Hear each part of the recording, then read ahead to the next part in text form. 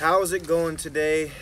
Jordan Trask here, and we're two weeks away from Christmas. I don't know if you actually knew that, but I'm on day nine of the 25 days of Christmas, and today I drew painting lessons for my marketing strategy. So basically, what I'm doing is every single day up until Christmas, I'm choosing a random industry or random business category, and I'm coming up with a random campaign or holiday strategy for them to not just drive uh, awareness and drive sales, you know, during the holiday season, um, but to start to sustain the business, build kind of those evergreen customers, that loyalty, uh, and start creating messaging, right, that can translate to the rest of the year, um, that can uh, help a business really focus more on consistency, right, and value, and their uh, inevitably their brand identity. Um, every single thing that you do, why I say be purposeful with everything you do, should derive from an identity, personality, origin, uh, some sort of uh, root characteristic for your business. And uh, there's a reason why you do that. And if you work with me, you can find out. But anyways, I'm getting off topic as always. I want to keep it short today. And holiday strategy for painting lessons. I think initially you think of the, the board and brush, those are the places that you go into, maybe a rented space, maybe somebody's house where they teach you how to paint something and you pay them 30 40 bucks you have a good time with your with your friends. Um, it's typically like a ladies night thing maybe have some wine or whatever. That's initially what i'm thinking um, and it's really ironic because it's it's something that i'm actually uh, considering something i'm considering doing in the future just more of the creative nights. What pre-focus initially was as a creative center that it's not just for business and consulting and, and being able to create stuff, but also for your business, but also to be able to have workshops, be able to have family events and stuff like that. And so it's something I've really researched a lot. And I think that when it comes down to something like this, um, it's another one of those clients where unless you're having 50, 60 people come and sign up for a class, you're not really making buku dollars, right? You're not making a thousand dollars a pop. And so what I want to think is how, how do you get to that point? You know, maybe you're making 100, 100, 200 dollars uh, each class after expenses and all that stuff and your time that you put into it on the front end and back end cleaning up. Um, but that's not like you're not going to make a lot of money. Uh, you know, so you get 20 ladies, $40 a pop, right? 20 ladies, $40 a pop. Is that like 800 bucks? Yeah, it is $800. So if you have canvases, you have paints, you have other supplies and stuff, maybe maybe you could make you know around $600 a class if you're able to get 20 20 ladies uh, in. So what I'm thinking of is for a holiday, my, my point is uh, for a holiday campaign, you don't want to spend a lot of money. You don't want to break the bank because, you know, number one, it can be risky. You know, a lot of people may not bite uh, and it's something that you want to try. Maybe some things that you want to try initially. Um, but it's the holiday season, so you know, start of the new year, you don't want to start the, the new year off in a hole. So if you go really big on something and it kind of fizzles, and you don't really have uh, any evidence or anything to review to know that it's it's going to be fruitful, um, then especially for painting classes, people kind of know they kind of know they want to do that. They don't really need somebody to market to them. They just really need somebody to tell tell them who to call, right? So sorry about that. Um, so I'm thinking of just a really simple campaign, keep costs low, build awareness, maybe something that's outside the box creative, but also, you know, if I'm thinking of um, taking painting lessons, you know, what do I want to learn? You know, so I'm not just going there to have fun. I want to actually learn something, you know, be able to take something away. It's, that's the value and apply it. And for me, I'm actually an artist myself. That's why I was mentioning before I've thought about this idea of, of kind of taking it up a notch to have a couple ideas. But um, I think the hardest thing to draw besides just knowing, you know, like the coordination of drawing itself is difficult from brain to, to fingers. And then the patience, right? Those would be uh, two things I think you know initially probably want some training on or at least some understanding on.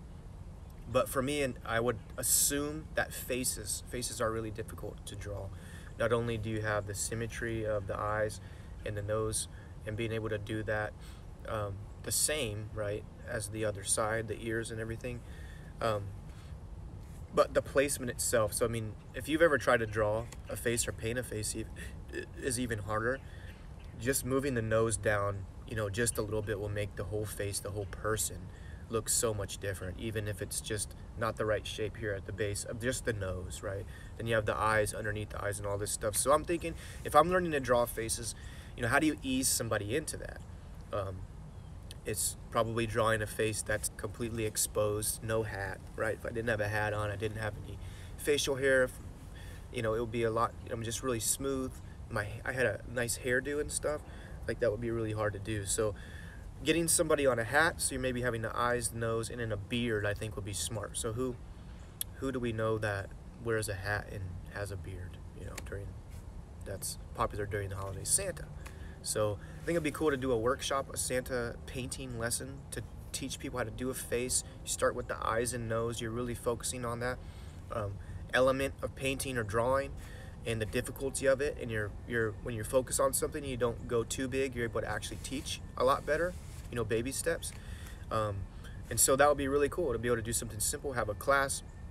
Um, and then what I think would be really cool is, is you offer this class, um, you know, see if people bite, I don't think you really give a discount. I think you just push it that this is what we're going to do. We're going to paint this, and the focus is teaching you how to draw facial features.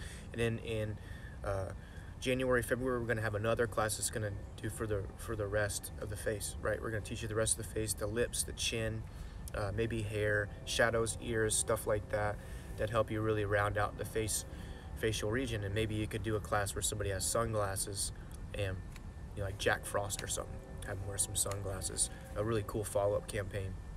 Um, but I think it would be really cool is to go really big for like one or two classes, have a secondary project, maybe something that's a little bit more difficult, or maybe you do the rest of the face, or maybe you do some woodworking or paint something that's that's a gift, right? You could have something that people come in and they make and you know color or paint it to, to give for a gift or put in a stocking stuffer or maybe put on display in their home maybe a picture frame right so something that's Christmas themed, maybe you know gingerbread house, you know something like that. Where my family does it every year, uh, tradition where we we do a competition for gingerbread houses. So maybe you have that laid out, and you have a second phase of the workshop, and then in between there, maybe you have dinner, uh, have a catering service come in, or wine tasting, like I said before, maybe some desserts.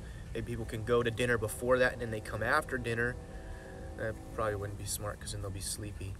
But it would be wise, yeah, to have dinner there, or maybe have a dessert or a, a wine tasting, and then the second class for the woodworking or whatever the case may be, and then dinner, uh, maybe a date night. And so you're able to take your space that you have, whether it's a commercial office building or your home, like my house is really nicely set up, the back sunroom, so you would have really nice tables set up, uh, you know, a back room or uh, storage room where you're able to have boards that you can kind of transition the lesson and then a kitchen obviously or a catering service like i said before we're able to kind of have that stuff prepared or in a fridge or something. Be so simple and, and instead of having somebody pay you know 30 40 50 bucks to come do this class and you maybe make your $600 which is more than i actually thought before i'm sitting here like man wow it is 40 times 20 40 times 30 it's $1200 you know. Uh, you can have it's you can literally have an event. So you do an hour painting santa you do a little intermission with some wine tasting some desserts uh, you know a little social hour right where we're switching things out letting the paint dry you know hanging this stuff up a 30 minutes uh, 45 minute session and then an hour after that you have the second session and you're literally charging uh, I would say you know something for like that, especially if you're throwing in dinner or even wine. It's expensive. You could do something for $150, maybe a couple, and that that could be a good deal. Um, so maybe even push something $180 a couple, and you're thinking dinner, entertainment, uh, gift, and uh, uh, memento that you're able to take with you, right? Uh, souvenir, two souvenirs. So, you know, $180, you really think about it, break that down. You know, me and my wife go to have some nice dinner. It's going to cost 50, 60 bucks. You know, I go buy a toy or make something or go paint a picture. It's going to cost about 30 bucks. You know, I go get something that's a little bit more high end of a toy or product or painting, then it's, you know, it's going to be around 40, 50 bucks. So you add those together plus the experience, plus the wine or the desserts on top of the dinner you know, it's 180, 160 bucks is probably a nice price point, and you get 20 couples, you have the space to do it. You know, bada boom, bada bing. Uh, kind of stupid, but you know, you're talking four or five thousand dollars in one sitting to have a really cool event. Plus, you have all the other events that you can schedule out throughout the rest of the week that you could end up having. Say you have a two-week, uh, you know, segment that uh, of the month that you're running this campaign, I guess, or this this lesson, uh, and you're able to book every single night of the week, six nights a week, you're able to make just say six hundred dollars, and in that Saturday or Friday night, you do the one thing. You do it for two weeks. You do two major events. You know, four or five grand. It's ten grand. We'll say eight to be safe. Um, and then the rest of the you know nights of the week, you're making, say five five hundred dollars a night. Six nights is three grand. So you know we're talking about you know 15 20 grand in just two weeks uh, painting guys if you're able to book that stuff obviously that's you know that's where the the curveball is is how do you get build the awareness how do you build the momentum how do you get people to come in? Well you talk about the experience. You do videos like this. You talk about why you're doing it. You talk about how you're doing it. You talk about how excited you are about it. You talk about uh, you have your your clients or the potential or your current customers that have been in before. You have them promote it. You email them. You have all that stuff. That's why you have a good crm you give them a call. You let them know. I mean you you show some pride and passion about this event that you want to do because it can be big. 15 20 thousand dollars before christmas in two weeks i mean come on like who who wouldn't want to do that? I'm, I'm actually starting to, to sit here and think i might want to change careers.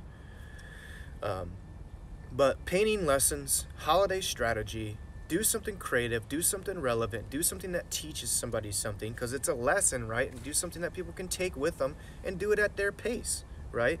Show them that you care show them that you want them to learn and then do a follow-up class follow-up classes that help them learn the rest right? Wow this is amazing merry christmas. Be purposeful with everything you do guys. And always remember refocus